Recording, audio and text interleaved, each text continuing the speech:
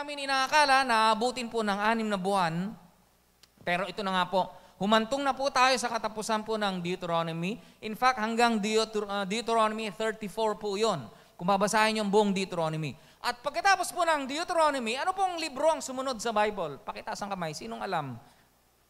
Uh, recites nga po ng Deuteronomy ay Joshua na po. Tungayan natin ang aral na binanggit kay Joshua at kung ano ang implikasyon po nito, anong sinasabi na ng Panginoon sa ating panahon ngayon. Amen? Kasi nga po ito ay Old Testament na. No? At isa sa mga pinapaka, pinakamahalagang puntos, no? isa sa mga pinakamahalagang puntos na kailangan mong matutunan ngayong umaga uh, na itinuturo ng Diyos ay yung usapin po ng pagbabago. Amen? Sino po sa inyo dito ang gusto ng pagbabago? Amen? May, gusto mo bang magbago yung buhay mo? Gusto mo ba magbago yung mukha ng katabi mo? No? Gusto mo ba magkaroon ng pagbabago sa takbo ng buhay mo? No? Pagbabago po ito sa ating pananaw, sa ating pag-iisip, sa pagbabago sa ating uh, mga hobbies. Ika nga, ang matututunan po natin dito. Ayan. And sa akdang ito ay ating malalaman ang mga sumusunod na pangyayari. No? Ano ba yung nangyari noon sa Deuteronomy? Alam na natin yon, di ba? Nakalabas ang, ang, ang, ang mga Israelita mula sa Ehipto. So, imagine nyo, ito po yung Egypt. Yan. Yung Deuteronomy po, dinala ng Panginoon sa buhay po ni Moises, ang mga Israelita, papalabas po ng Egypt, at dadalhin niya po ito sa lupang pangako. Nandito po yung lupang pangako. Amen? Imagine niyo po yan. Ito po yung lupang pangako. At yun po ay yung lupa po ng ano bang Tagalog ng Canaan? Kanaan. Tama ba? I was challenged kasi po, nung, ling, nung linggo, parang straight Tagalog si Pastor Jerome, si Kuya Jerome. Amen? Na-bless po ba kayo sa message ni Kuya Jerome? And the other Sunday, andito siya ngayon. Ah, si si uh, Pastora J, uh, Ate, J, Ate Jamie, no? Siya yung nagturo. And for two Sundays, uh, sinadya ko po talaga yon para ma-miss nyo naman po ako. Na-miss nyo po ba? Amen? Uh, next week, anniversary na po natin. So, wala po tayong 7.30 service. Alas 4 po tayo. So, doon po sa panahon na yon na nandito po si, yan, mahihirapan yung cameraman ngayon. si James Lado, yan, ang ating camera. Sabi ng Panginoon, hali kayo mga Israelites, mga anak ko, hali kayo, pumunta kayo sa, sa lupang pangako, ang Kanaan, ang Canaan. And sabi po doon, ito ay isang malaking pagsubok. No? Kasi sa akdang ito, ating malalaman na yung sumunod na nangyari ay ito po. Ito na po yung sumunod na nangyari. Sino po yung naging leader nila nung lumabas sila sa Egypt? Si Moises. Amen? Tama ba? No? Moises, no? Si Dan Fider from uh, ano uh, uh, saan nga ba to? Tarlac City, no? Salamat. Si Aleli po yung nag-announcement po kanina. Galing pa ho yan ng Tarlac. Amen? Palangpakan natin ng Panginoon. Galing pa sila ng Tarlac. So I challenge you sa mga taga Quezon City, San Juan, at yung mga malalapit ho sa San Juan na hindi pa nakakapag face-to-face worship service sa Tagalog service. Inaantay ka namin ang iyong pagdating. Hari nawa ay vaccinated ka. Dahil kung hindi, hindi ko apasukin doon sa ano. But we are waiting for you. Salamat, salamat po. No? Salamat sa encouragement sa mga taga-Tarlac. Praise the Lord. No? So, sa akdang ito, makikita natin na sa panahong ito, sa kwento po ng Joshua, eh, sabi po doon, makaraang si Moses naman ay pumanaw na. Ito yung bad news. No? Bad news in a way kasi hindi nila alam kung sino yung susunod na magiging pangulo, magiging pinuno ng mga Israelita nung panahon na yon.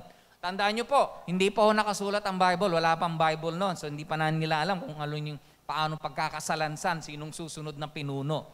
So malaki itong challenge para kay Joshua nung malaman niya, ito ay isang malaking pagsubok sa liderato o pamumuno ni Joshua sa mga Israelita. Marahil tayo ay mga, may mga kinakaharap po tayo na pag may dumating na pagbabago na biglaan, hindi natin alam ang gagawin natin. No? Amen? May mga pagsubok po man na biglang dumating yung pagbabago, biglang, ha, anong gagawin ko ngayon? Nung dumating yung pandemic, lahat ho tayo na bulagta. Hindi natin alam kung anong gagawin natin. At andito pa rin ho tayo dahil po sa grasya ng Diyos. Amin po ba? Marahil may kinakaharap ka o pagsubok o pagbabago sa iyong pamumuhay, dulot ng mga maraming aspeto sa buhay. May pagkakataon na hindi natin maunawaan ang kaparaanan ng Diyos. Ngunit tayo ay sinusugo ng Diyos. Amen? Tayo pi- pinadadala ng Diyos. At sabi niya, humayo at harapin ang mga pagsubok na ito. Amen? Ito ang panahon na hindi natin kailangang umatras sa mga pagsubok na ito. Bakit? Kasi may nakahandang pagpapala para sa bawat isa po sa atin. Amen? Can you say amen to that? No? Hindi natin halos makita kung paano natin ito gagampanan. No? Hindi tayo ready. No? Hindi tayo ready. Sa tingin natin, hindi tayo ready. But you know what? Hindi naman hinahanap ni Lord yung ready-ready na. Ang hinahanap ni Lord yung available at sasabihin niya, Lord, nandito po ako. Pwede po ako. Available po ako. Marami po kasing magagaling na pwede namang maging pinuno, na pwede namang manguna po sa atin, pero hindi available. Pero marami rin na available, pero magagaling din. No? So doon tayo. Panalo po yon Amen?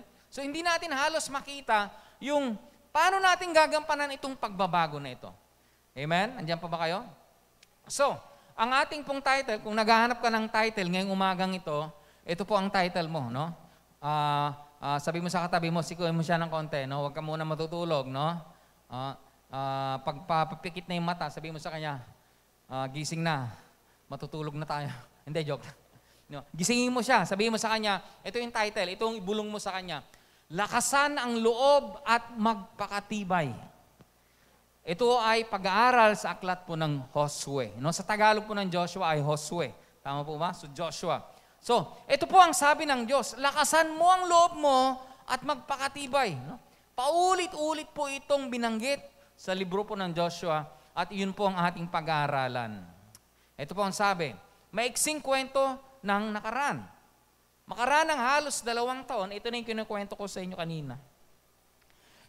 Hindi naman pala kailangang daanan nila ang wilderness ng ilang ilang taon? 40 years.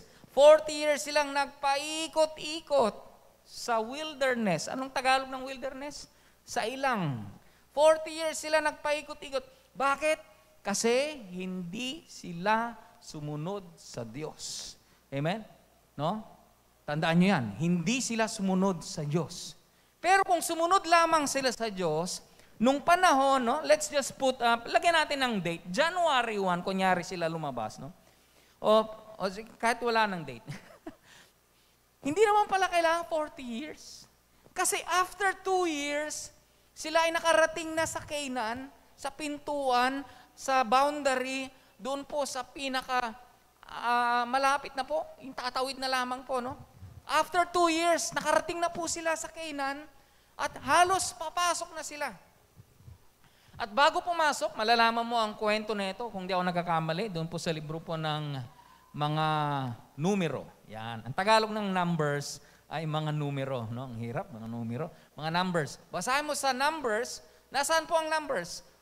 Nasa old o new? Nasa old, na? Tama, no? So, nasa Numbers 13, kung di ako nagkakamali, yung kwento po na may pinadala silang labing dalawang espiya. Yan. Yung labing dalawang espiya na yan, yung sampo, nung bumalik, ang ibinalita po ay masamang balita. Ano po ang sabi nila? Huwag ho tayong pumasok dyan kasi maraming higante dyan. May mga fortified cities dyan. Hindi natin kayang tibagin yan. Hindi natin kayang silang pabagsakin. Hindi natin kakayanin. Ganon, and so on and so forth. So, basically, negative po yung mensahe nung yung, yung kanilang uh, uh, uh, report. No? Doon sa labing dalawa. Pero may dalawa. Sabi mo nga dalawa. So, 10 minus 2, 10 plus 2 equals 12. So 12 spies, may dalawa po na nung bumalik, ano ang sabi? Halina kayo, pumasok na tayo sa lupang pangako, kayang-kaya natin to. May mga giants, pero kayang-kaya natin to, kasama natin ng Diyos, pasok na tayo. So basically, two years after nung lumabas sila sa Egypt, dapat pasok na sa Israel. Amen? Ay sa, sa, sa um, uh, Canaan. But you know what? After uh, nilang sabihin yung good news na yon, alam mong ginawa nila? Anong ginawa nila? Pumasok ba sila? Hindi. Hindi. Alam natin na they stayed in the wilderness for another 38 years. So 38 plus 2, 40.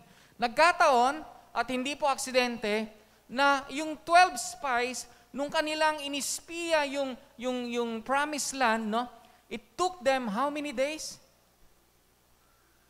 Binibigyan kita ng hint. How many days? 40 days. 40 days nilang inispiya yung Canaan. And yet, hindi sila nag-obey.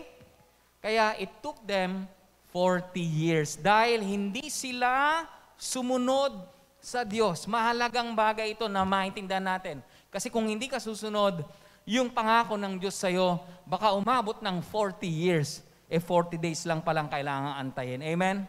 Amen po ba? Are you ready? Handa ka na ba? Andiyan ka pa ba? Ang sabi ng Diyos, tatlong bagay bago po pumasok ang mga Israelita sa Promised Land. Itong tatlong bagay na ito na in-encourage ng Panginoon si Joshua dahil nga uh, sabi po doon, uh, ang mga higante ay nandun pa rin. Nung namatay na si Moses, andun din pa naman yung higante yung mga, yung mga giants, yung mga fortified cities, andun pa rin sila. Andun pa rin yung mga pinatibay na lungsod na, na itinayo. Wala silang, at that time, no, ang mga Israelita, nung umalis sila, wala namang sundalo sa kanila eh. Ang karamihan sa kanila, magsasaka, mga pastol, mga husband, walang, walang sundalo. Hindi sila train para makipaglaban sa mga fortified o mga pinatibay na lungsod. Matitibay na lungsod na po yung nasa Canaan. Promised land na po ito. And yet may mga higanti pa rin. Kahit alam na nila na wala na si Moses, patay na po siya. Sabi doon, hindi sila handa at ang pinakamatindi dito ay ang kanilang pinuno na nagdala sa kanila mula Ehipto papuntang Canaan ay patay na. Sabi mo, patay na. Patay na. Sinong patay na? Si Moses. Sabi doon, ngunit hindi sumunod ang mga Israelita kaya sila nagpaikot-ikot ng apat na pung taon. Muli silang natagpuan sa pagkakataon na iyon, makaraan ng 40 years at hinirang ng Diyos. Ito na. Ito na yung pagbabago. Hinirang ng Diyos ang kanilang magiging bagong pinuno. At ito ay si Josue o Joshua. So alam mo na yung kwento ng promised land, pagkatapos ni Moses, si Joshua na po. Panahon na po ito ni Joshua. No? Ito na po yung panahon na wala na pong pwedeng sisihin ang pinakamataas na po ng pinuno sa mga Israelita sa panahon na yun ay Joshua na po. Hindi na pwedeng ituro ni Joshua pag may nangyaring kabulag, uh, kababalaghan, hindi niya na pwedeng sabihin, eh, eh, si Moses po kasi. Wala na siyang maituturo kasi siya na yung huli. Lahat ng turo sa kanya na, eh si Joshua po kasi. No? So dito natin makikita, handa na po ba si Joshua sa pagbabagong ito? At dahil nga po, hindi pa siya handa, kasi nabulagta siya eh. Kumbaga, nabigla siya. Ha? Ako na. Ako na ang leader. No? Ang tanong, sila ba ay susunod sa salita ng Diyos? Sila ba ay susunod sa bago nilang pinuno? Ang tanong, ang mga taong ito po magtitiwala na si Josue na po ba o si Joshua na po ang kanilang magiging bagong pinuno. No? So basahin po natin sa Joshua chapter 1 verse 1 to 2. Ang sabi po doon, um,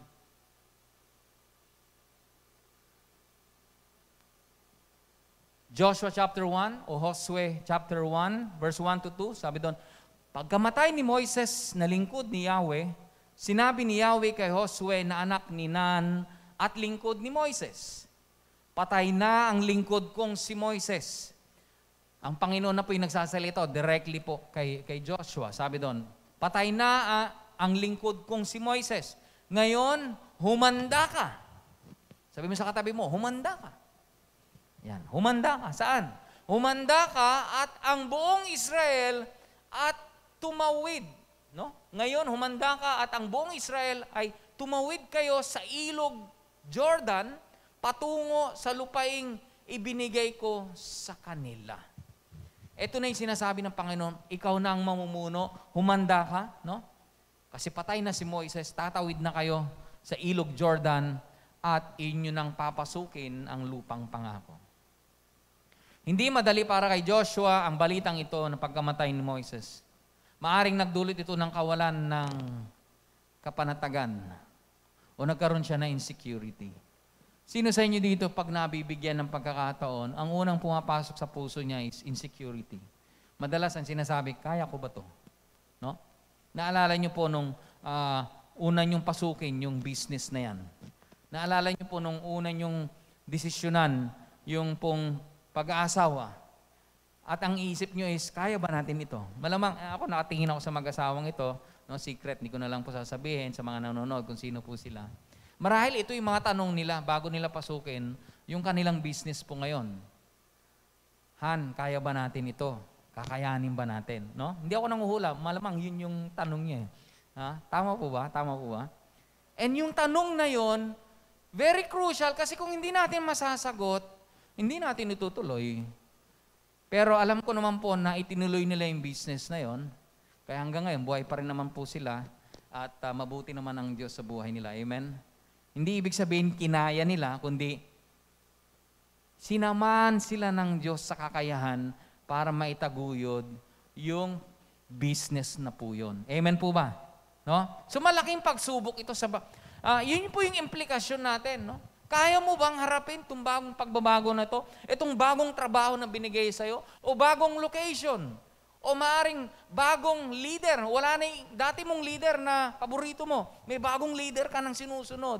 May bagong pangulo na tayo ngayon. May bagong vice president vice presidente na tayo ngayon. Ibang ibang liderato na po ito. Handa ka bang sumunod? Susunod ka ba? 'Yun ang tanong. Si Joshua po ay malaking pagsubok po ito sa kanya at ito ay kanyang haharapin. Ikaw ba haharapin mo ang pagsubok? Marami po sa atin umatras sa pagsubok kasi ina, iniisip nila yung pagsubok, patutumbahin sila. Pero kung alam mo na ang pagsubok na ito ay isang, siyempre pagsubok nga eh, test. Ako po ay naniniwala na sa bawat test, sa bawat exam, meron pong graduation. Amen. At pag graduate ka, ibig sabihin, you're up to the next level sa buhay mo. Ibig sabihin, hindi ka na katulad nung dati, umakyat ka na sa next level. At yun naman ang pursuit yun naman ang habol nating mga tao, no? Na tayo po'y umasenso at hindi tayo manatiling ganito lamang. Amen po ba? Amen? Lahat po dito gustong umasenso. Amen po? Amen? Ako po'y naniniwala na sa bawat pagsubok na dumadating sa buhay mo, hindi po yan sinasadya. No? I mean, sinadya. Sinadya talaga ng Diyos yan. Kasi gagamitin niya yan para umasenso ka sa buhay. Sa bawat pagsubok, may kasamang pagpapala. Amen po ba? Palagpakan natin ang Panginoon. Hallelujah. No? Minsan nangyari din po sa akin, yung nangyari kay Pastor Joseph, kung nalaman niyo po yung kwento niya, na siya po ay hinala, hin, hinalal na bilang senior pastor po ng Words of Life. Dati pong Lord of Glory, ngayon ay Words of Life na. Many years ago, and for 20 years tayo po ay Words of Life, pero dati po yan ay Lord of Glory. Tinawag po si Pastor Joseph ng aming senior pastor before at siya po ang naging sumunod na senior pastor. At malaki pong responsibilidad yung ibinigay po sa kanya. Kumbaga, binigyan po siya ng malaking sapatos na susuotan. Ika nga, kasi po, yung mga sinundan niya ay mga magagaling na leader din. So, nung siya na po ang senior pastor, uh, nangyaring ito ay malaking pagsubok po para po sa kanya. Nangyari din po sa akin yan nung ang aming worship leader sa church, na ilan po sa inyo, kilala po siya, ay bigla na rin pong nawala. Hindi naman po parang minagic na wala bigla. Ah, nawala na rin po at uh, uh, ewan ko po ano nangyari. No? Pero dahil po sa panahon na yon, ako po ay nandun sa church na at naglilingkod na po bilang isa sa mga tagabuhat po ng drum set, naglilinis, tagabili ng merienda ng mga worship team, pero kumakanta na rin po. Hindi ko po alam kung ano pong ginawa ko, pero basta nandun lang po ako, present lang. Laging present. No? Maski absent ako sa eskwelahan, basta present ako sa ministry.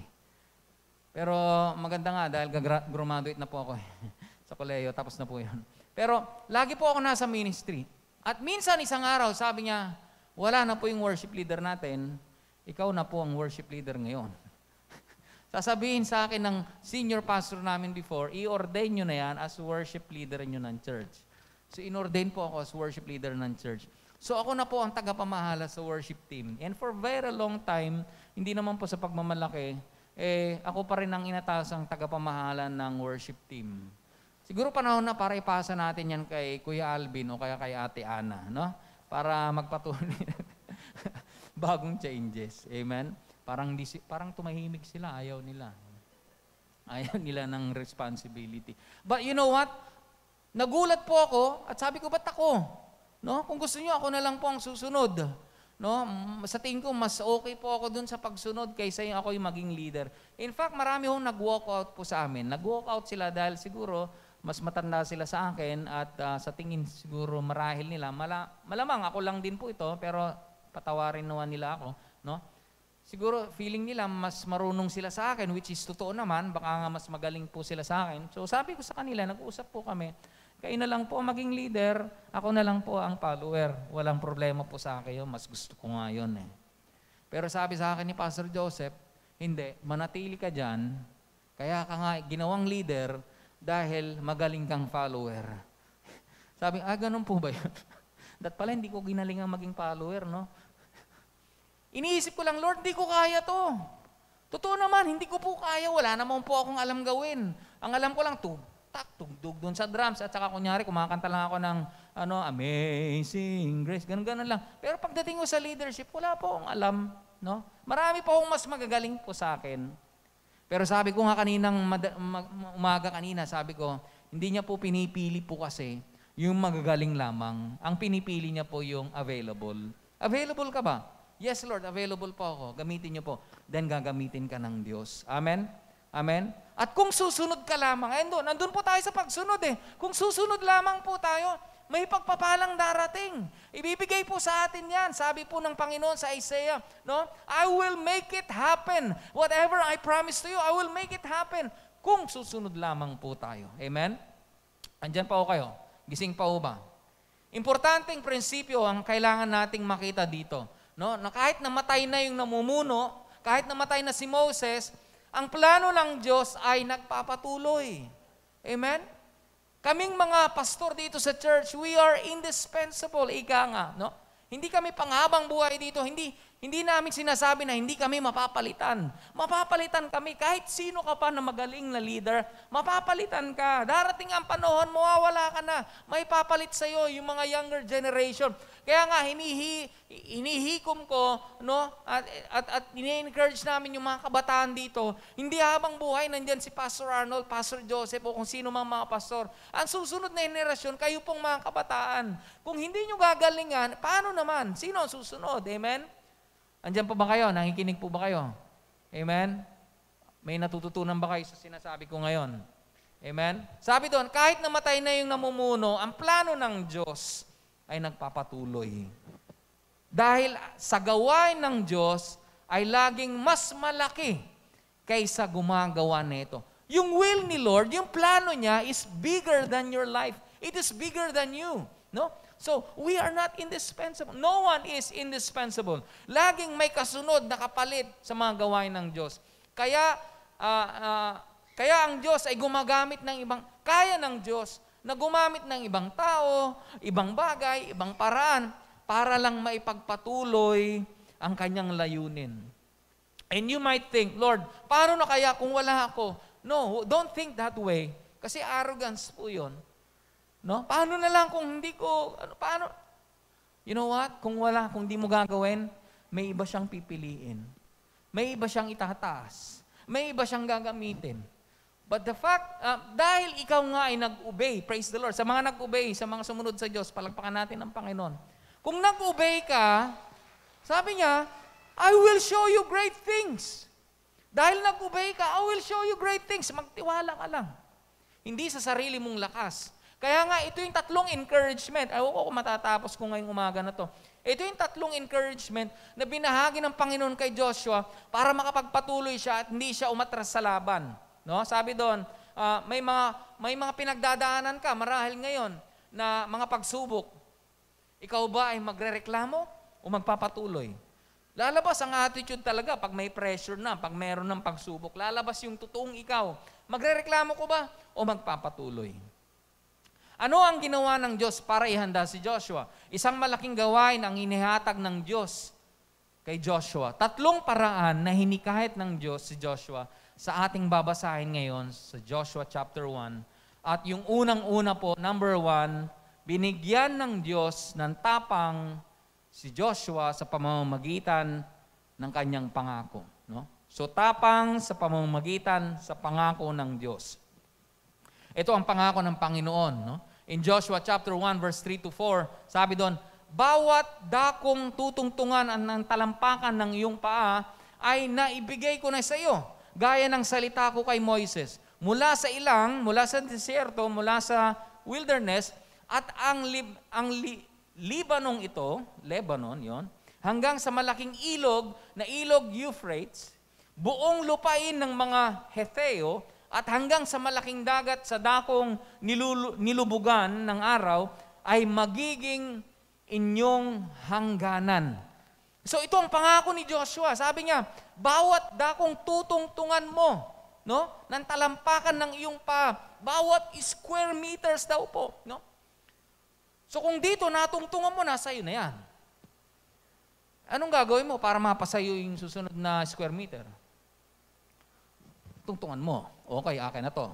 Yun ang pangako ng Diyos, literal, no? Literal, no? Yun ang pangako ng Diyos. Pero kung titingnan natin yung implikasyon niya, uh, spiritually speaking, kung tayo po yung mga anak ng Diyos at ang pangako niya ay para sa makarating hanggang doon sa pintuan, para makarating ka ron, kailangan you must, have, you must take that step of faith. No? Eh Lord, hindi ko po sigurado eh. Hindi ko po alam eh. And then, take that another step. Eh Lord, may, parang may nagmamayari na po eh. Hindi. Ang sabi lang ng Panginoon, bawat tatapakan ng yung talampakan, tignan mo yung talampakan mo. No? No? Bagong pa ba yan? Malambot pa. no? Bawat tatapakan niyan, magiging sayo. So it's a step of faith. Sabi doon, um, ito yung pangako, ito yung tapang na binigay niya kay Joshua, no? Tapangan mo yung loob mo, no? Lakasan mo ang loob mo at maging matibay ka. Sabi niya, tapang sa pamamagitan ng pangako ng Diyos, no? Remember na hindi po si Moises nangako kay Joshua. Hindi po kung sino man ang nangako. Ang nangako po ay ang Diyos. No? Kung sa mga panahon na yon, maniniwala ka, sabi nga po doon, na ibigay ko na sa inyo yung pangako na yon, naibigay na, napag-usapan na ito. Nung panahon pa ni Abraham, napag-usapan na ito eh.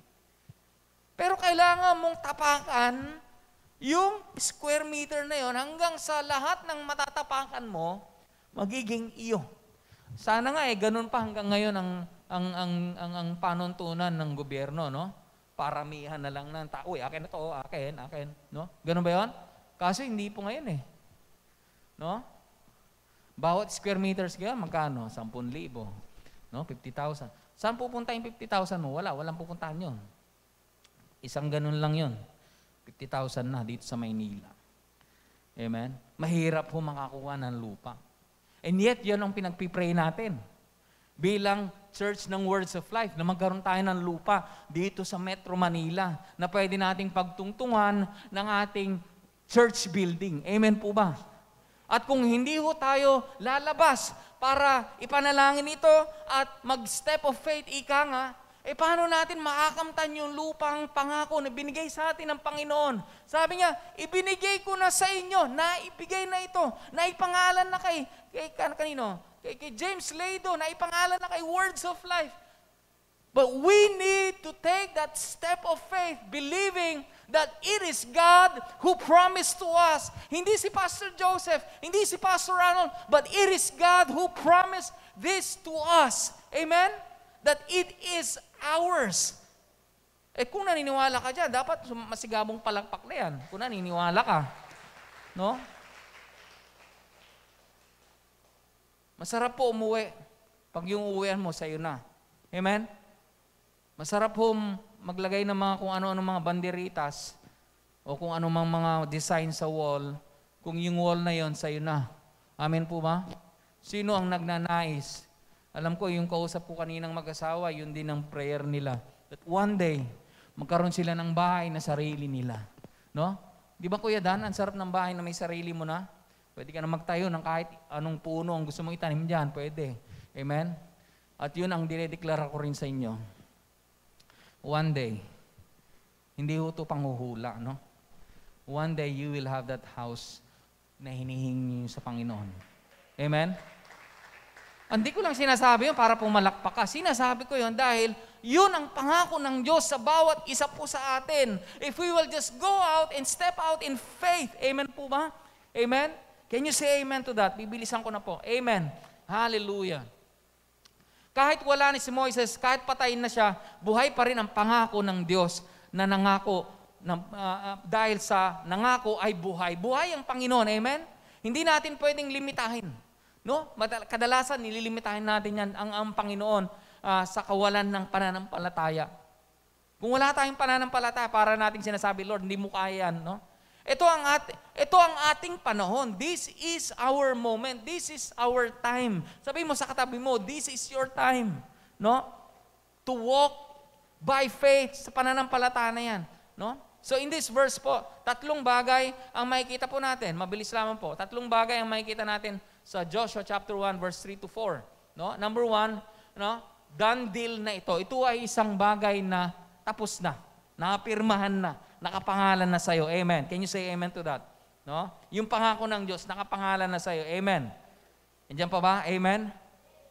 Tapos, yung pangalawa po, sabi doon, merong proseso. No? Sa bawat tutungtungan mo, ito yung proseso. Kailangan tungtungan mo, kailangan daanan mo. Hindi mo pwedeng, ah, Lord, pakilista na po yun, akin na po yun. Hindi po, hindi po sinabing sa bawat ituturo mo, magiging sayo. Hindi po. Sa bawat tatapakan mo. So kailangan mo umalis sa kinaupuan mo. Kailangan mo umalis sa kinalalagyan mo. Umalis ka sa sirkumstansya mo. Huwag kang manatili dyan. Hindi yan ang permanente mong sitwasyon. Amen? Hindi yan ang panghabang buhay mong gagawin. Amen? Sa bawat tutungtungan mo, no? Huwag kang matakot na mag-eksperimento. Baka na, eh, okay na po ako dito, ayos na po ako. Kung yan ang magiging pananaw mo, kaya nga sabi ko kanina, may pagbabagong mangyayari. Kailangan magbago yung pananaw mo na, Lord, hindi lang ako pang dito. Pwede rin po ako pang doon. Pwede rin po akong ganito. Pwede. Walang limitasyon sa Diyos. Amen? Lahat kaya niyang gawin. And gagawin ko ito, sabi ng Panginoon, kung mananampalataya ka sa Kanya. Pero kailangan mo ng partisipasyon. Ano po yon? Lumakad ka sa bawat square meter na ibibigay sa ng Panginoon. Because this is the year, ito ang ating panahon ng expansion. Amen? If you are flowing with this uh, um, um, um, vision of the church, it is not only for the leaders, but it is also for us that as we move in faith, as we step as, as we um, um, step, uh, ano tawag nun? Iapak po yung step of faith po na yan. Ibibigay po sa atin ng Panginoon. Yan ang iyong partisipasyon. Palakpakan natin ng Panginoon. Hallelujah. Yung una, done deal na po yan. Pangalawa, may proseso. One day at a time. Amen? Hindi naman kailangang instant millionaire o instant ano. Hindi po. May proseso po tayong pagdadaanan. So kung ano man yung proseso na pinagdadaanan mo, magtiwala ka God is at work in your life. Amen po ba? At din yung pangatlo po, lumakad po sa pananampalataya. Hallelujah. Yan yung unang pangako. Una pa lang yan, eh, tatlo po ito. Aabot kaya tayo? Amen. Tatapusin po natin to. Pangalawa po, binigyan ng Diyos si Josue o si Joshua ng tapang sa pamamagitan ng presensya ng Diyos. In Joshua chapter 1 verse 5 to 6, sabi po doon, walang makakatayong sino mang tao sa harap mo sa lahat ng mga araw ng iyong buhay. Kung paanong ako'y sumama kay Moises at gayon ako sa iyo. Hindi kita iiwan ni pababayaan kita. Mapapalakas ka at magpakatapang ng mabuti sapagkat iyong ipapamana sa bayang ito ang lupain na aking isinumpa sa kanilang mga magulang at ibinibigay sa kanila. Hallelujah. Sabi doon, walang makakatayong tao sino man. Hindi ka pwedeng patumbahin ng kung sino man Dahil kung anak ka ng Diyos, ito yung tapang na binigay niya sa iyo sa presensya ng Panginoon. When you know how to dwell in the presence of the Lord, kung alam mo and if you are dwelling in the presence of the Lord, walang pwedeng magpatumbas sa iyo. Sabi niya, tapangan mo ang loob mo. Bakit niya sinabing tapangan mo? Kasi siguro, hindi naman siguro, but I believe, yun ang kailangan mong gawin at that time. Hindi mo kailangan gawin yung ibang bagay. Ang kailangan mo lang gawin, tapangan mo ang loob mo at magpakatibay. Yun ang utos ng Diyos kay Joshua. Yan. Pangatlo po, tapang sa pamamagitan ng panuntunan. I, I choose panuntunan kasi gusto ko manatili sa tatlong letter P. Yung una, ano yung una? Tapangan sa pamamagitan ng pangako ng Diyos. Pangalawa, tapang sa pamamagitan ng, panun, ng, ng, ng uh, presensya ng Diyos. Pangatlo, tapang sa pamamagitan ng panuntunan o salita po ng Diyos. Kaya ka magkakaroon ng tapang kasi po nakahawak ka sa salita ng Diyos. Yan ang pinangahawakan mo. Sabi po sa Joshua chapter 1 verse 7, no? Magpalakas ka. Ano? Magpakalakas ka lamang at magpakatapang ng mabuti. Hindi niya naman sinabing uh, kung ano pa, wala naman siya ibang sinabi, yun lang kailangan mong gawin, no? Na isagawa mo ang ayon sa buong kautusan na inutos ko sa iyo ni Moises na aking lingkod, wag ka, ito yung sinasabi niya, wag kang liliko sa kanan o sa kaliwa. Wag daw ho tayong gagawa ng mga biglang liko. Amen? Ibang konteksto na yung biglang liko, no? Wag daw tayong gagawa ng mga ibang pananampalataya. Manatili lamang po tayo sa pananampalataya sa, sa Panginoon, magpakalakas, magpakatibay, sabi doon, dahil, no, Huwag kang liliko sa kanan o sa kaliwa upang ikaw ay magtamo ng mabuting kawakasan saan ka man pumaroon. Ang sabi po sa Ingles, upang ikaw ay magkaroon ng so that you may have success. Amen po ba? Every one of us, gusto natin ng success sa lahat ng ating ginagawa. At ang sikreto po dyan, binigay ng Panginoon kay Joshua, sabi niya, be strong and of good courage. Sabi doon, magpakalakas ka lamang at magpakatapang. Bakit niya pinaulit-ulit to? Matanong ko po sa inyo. Um, ang ibig lang pong sabihin, it's because may mga kakaharapin ka pa eh. Hindi naman natapos dyan eh, sa hinakaharap mo ngayon na challenge. Hindi dyan na matatapos.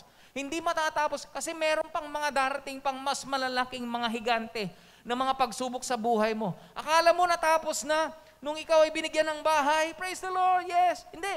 May mga mas malalaking ano. Nung binigyan ka ng magandang uh, blessing, hindi po doon natapos. Ha? May mga susunod pang pagsubok. At habang nabubuhay ka at patuloy ang iyong pagyapak ng pananampalataya araw-araw, you begin to conquer, you begin to uh, um, um, expand your kingdom, yung, ika nga, the kingdom of God, your territory. Bawat apak mo, napapalapit ka sa destination mo, napapalapit ka sa gawain ng Diyos sa buhay mo. Ikaw ay patuloy na lumalakad kasama ang Diyos Palakpakan natin ang Panginoon. Hallelujah. Hallelujah. Sabi doon, huwag kang manalig sa lakas mo, kundi sa Panginoon. Manalig ka sa lakas ng Diyos, sa kanyang pangako, presensya, at sa kanyang salita. In Joshua chapter 1 verse 8, ang aklat na ito ay kautusan at huwag kang, huwag mahihiwalay sa iyong bibig kundi iyong pagbubulay-bulayan araw at gabi upang iyong masunod ang nagawin ang ayon sa lahat na nakasulat dito. Sapagkat kung magkagayoy, iyong pagiginhawain. Sinong gustong guminhawa dito? Amen? Gusto mo bang guminhawa ang buhay mo? Iyong pagiginhawain ang iyong lakad. At kung magkagayoy, magtatamo ka ng mabuting kawakasan. Amen? magtatamo ka ng good success. Hallelujah. Sabi po sa ibang salin, magkakaroon ka ng prosperous success. Hallelujah. Kung ano raw pong gagawin natin? Kung ating, if we meditate on the Word of God day and night. Yesterday, I was talking to one of my care group member. At ang sabi niya po, bibigyan ko po kayo ng, ng, ng, uh, ng uh, cue kung sino siya. Sabi niya, Pastor, ang kailangan ko pong gawin is yung pong uh, ma-meditate ko po yung word ni God day and night. Kasi yun daw po yung nakakaligtaan niya.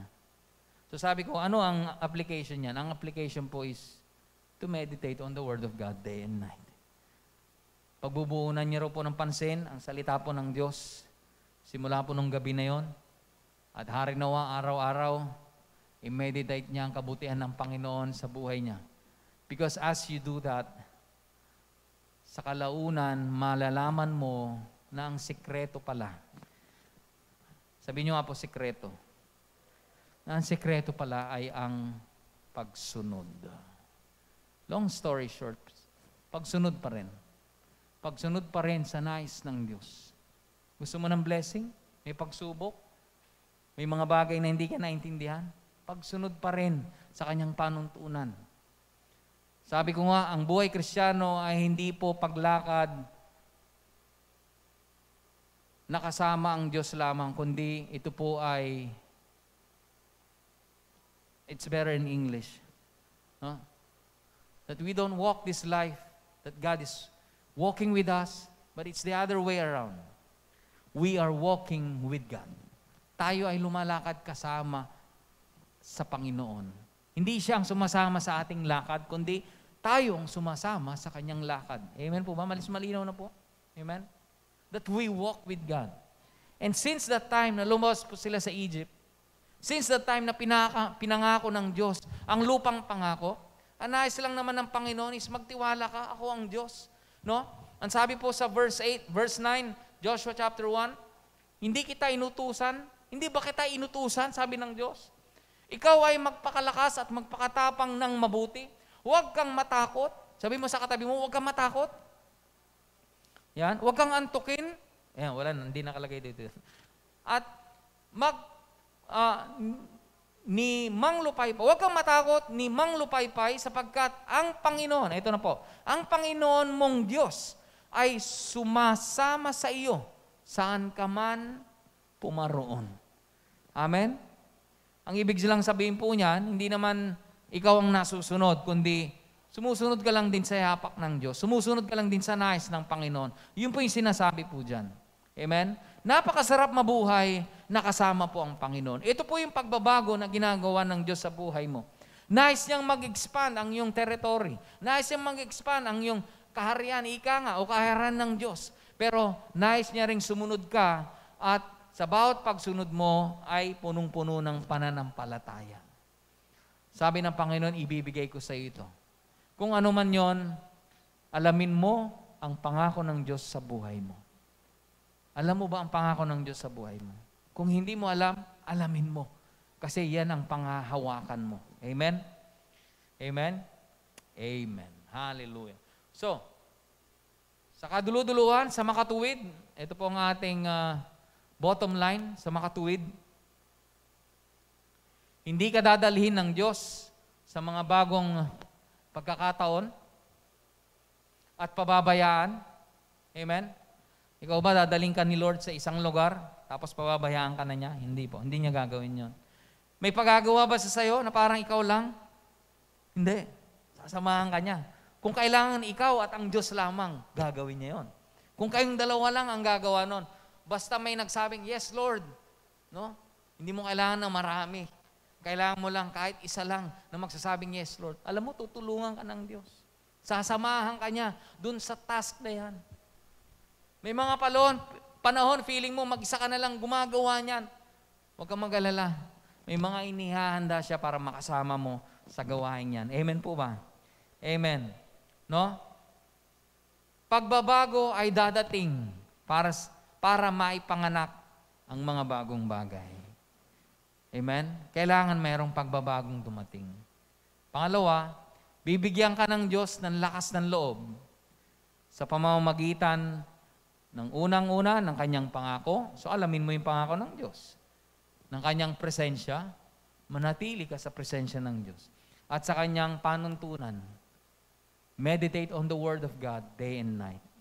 Sa kanyang panuntunan at katuruan na siyang magbibigay sa iyo ng kalakasan ilaw at direksyon sa iyong paroroonan. Lahat ho tayo ay nagnanais ng lupang pangako. Kung ano man yan na lupang pangako na ibinigay sa iyo ng Diyos. Baka nga magkaparehas din ng ating lupang pangako. Nais kitang makita sa lupang pangako na pumapayagpag. Maraming pagsubok, may mga higante. May mga kontrabulate. May mga babangga. May mga hindi aayon sa iyo. May mga hindi sasama sa iyo. Pero ang pinakamaganda sa kaduluduluhan ng iyong pagsusumikap, kasama mo ang Diyos. Kasama mo ang Panginoon. Amen? At kung kasama mo ang Panginoon, yan ang pinakamagandang buhay na ipamuhay. Amen? Dahil kung kasama mo ang Diyos, hindi pwedeng manatili ang plano ng kahaway sa buhay mo. Hindi yan mananaig mananaig at mananaig pa rin ang plano ng Diyos sa buhay mo. Paulit-ulit pong sinabi sa libro po ng Josue, Be strong and take courage. Be strong and take courage. There's a change coming your way today. And this is our time, this is our moment. Let us embrace what the Lord is doing in our lives. Huwag tayong, huwag natin takbuhan ang problema. Huwag natin takbuhan ang pagsubok. In fact, bawat problema ay harapin po natin kasi pagkatapos niyan, meron pong celebration. Amen? At kung gusto mo yan, I want you to stand up this morning and let us all believe and let us put our faith in God. At sabihin natin, Lord, kailangan ka namin. Kailangan namin ang kalakasan na yan kailangan namin ang iyong patnubay, kailangan namin ang iyong paggabay, kailangan namin ang iyong salita, ang iyong pangako, ang iyong presensya. Wala kaming ibang kailangan kundi ikaw lamang, Panginoong Hesus, maging aming maging Diyos at tagapagligtas. Ngayong umagang ito, kung hindi mo pa tinatanggap si Jesus bilang iyong Diyos at tagapagligtas, hinihikayat kita. I encourage you. Lakasan mo ang loob mo at magpakatibay dahil mayroong bagong umagang darating at kakailanganin mo ang Panginoong Isus upang iyong maging Diyos at tagapagligtas. Kung hindi mo pa isinusuko ang iyong buhay, ngayong araw na ito, ito ang araw ng kaligtasan para sa iyo. At yung mga susunod na panahon ay magiging araw din ng kaligtasan para sa ibang tao. Gagamitin ka ng Diyos. Gagamitin ka ng Panginoon. Ibahagi ang mabuting balita. Hari nawa ngayong umagang ito, manalangin ka, kasama ko. I want you to pray after me. Isurrender mo ang buhay mo sa Panginoon. Isuko mo sa Diyos ang lahat-lahat at tanggapin si Jesus bilang iyong tagapagligtas. Kung ikaw po yan, kapatid, I want you to lift your holy hands to the Lord. Gusto ko manalangin ka sa Panginoon. Pray after me. Aming Ama, aming Ama, ngayong umagang ito, aking pong isinusuko ang aking buhay sa inyo Patawarin niyo po ako sa aking maraming kasalanan at pagkukulang. Tanggapin niyo po ako bilang iyong anak. Binubuksan ko po ang aking puso. Pumasok po kayo at manahan sa aking buhay, maghari, at simula ngayon, ikaw ang aking maging Diyos at tagapagligtas. Salamat po, Panginoong Hesus, sa kaligtasan. Salamat sa kapayapaan sa bagong buhay, bagong pag-asa. Ngayong umagang ito, ikaw, Panginoong Isus, ang aking Diyos at tagapagligtas. Salamat po sa kaligtasan ng aking kaluluwa. Simula ngayon, ikaw ang matanto, makilala at maitaas sa aking buhay. Ito po ang aking dalangin sa matamis na pangalan ni Jesus. Amen. Amen. Amen. Hallelujah.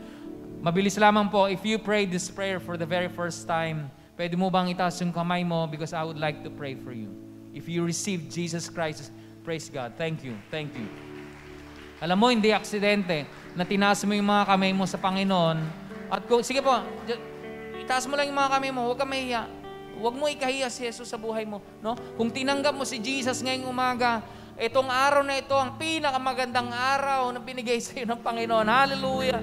Hallelujah. Let me pray for you. Panginoon, sa mga kabataang ito, at sa mga nanonood sa Facebook live streaming na tumanggap sa inyo ngayong umagang ito, salamat, Panginoon, sa miracle na ipinagkaloob niyo po sa kanila. Isang magandang regalo na ipinagkaloob niyo sa mga kabataang ito. At alam po namin at dalangin namin, gamitin niyo sila, Panginoon, para sa mga susunod na henerasyon. Lord, salamat po sa kanilang katibayan. Salamat, Lord, sa inyong pagmamahal po sa kanila. At harinawa sa mga susunod na panahon, gamitin niyo sila, Panginoon, na sila po ay magbahagi din ng magandang balita sa kanilang mga kamag-anak, kaklase, ka- kaibigan, Panginoon. Salamat, O Diyos, sa pagpapalang ito. Pagpalain niyo po ang bawat kabataan na ito at bawat nanalangin na nasa Facebook live streaming. In Jesus' name I pray. Amen and amen. Palakpakan natin ang Panginoon. Hallelujah. Mabilis lamang po sa mga nanalangin, please let us know. Kausapin niyo po yung mga ah, facilitators natin sa Facebook Live. Let them know that you received Jesus Christ this morning. And ah, sa mga nandito po sa ah, Teatrino, maraming salamat po sa mga buhay nyo. Let, ah, sabihin niyo po sa mga ate nyo, sa mga cell leaders nyo that you received Jesus Christ. We have a gift for you. And on your way out, um, I think the ushers will have a gift for you. Amen. And uh, uh, sa ating pong lahat na nandito, let us lift our holy hands to the Lord as I close in prayer.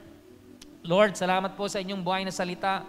Maiksi man ang aming panahon, pero hari nawa, Lord God, na nasumpungan namin ang iyong mabuting balita. Nasumpungan namin ang iyong paggabay po sa amin. Nawa, Lord, naging malinaw ang iyong pangako. Nawa, naramdaman namin ang iyong presensya. At Lord God, hari nawa, ang iyong salita ay magiging aming sandigan, Lord God. At Lord, that we will meditate on it day and night. Salamat po sa inyong mensahe. Salamat, Lord, sa inyong buhay na salita. Indeed, ikaw ang aming Diyos na mapagpala. Ikaw ang aming Diyos na buhay. Pinupuri ka namin, Panginoon. At sa aming pagtatapos, maging sa aming pagbibigay ng aming alay at ika po, pagpalaan niyo po ang mga kayamanang ito na lalo pang yumabong, Panginoon, gamitin mo, Panginoon, upang mas marami pang mga kaluluwa ang siyang aming mahihikayat, Panginoon. Gamitin niyo po kami, Panginoon, na maging blessing all throughout this week. Ingatan niyo po ang bawat isa po sa amin, maging yung mga pamilya na nanonood sa amin ngayong umagang to. Pagpalain niyo po ang bawat isa